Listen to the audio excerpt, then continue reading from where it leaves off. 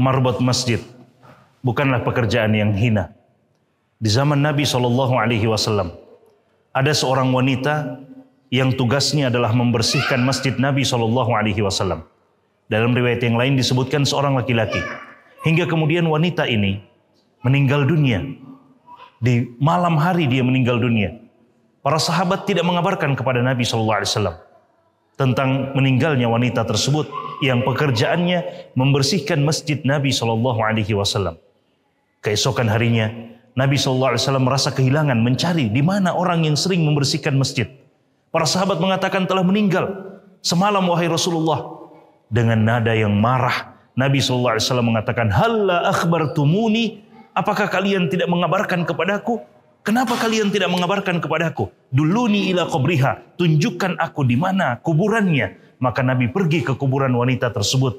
Lalu Nabi SAW mengangkat takbir sholat jenazah untuk wanita itu yang pekerjaannya adalah marbot masjid.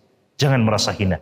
Dan bagi Anda sekalian yang hari ini mungkin dititipkan harta oleh Allah Subhanahu wa taala, para marbot masjid tidak seberuntung Anda, tapi hati mereka tetap punya keinginan untuk bisa berumroh seperti Anda. Maka bagi Anda yang diberikan harta oleh Allah Subhanahu wa taala, tidak ada salahnya, bahkan justru sangat baik jika sebahagian harta Anda, Anda berikan untuk mereka, lalu Anda mengajak mereka untuk melihat Baitullah yang ada di Mekah Al-Mukarramah.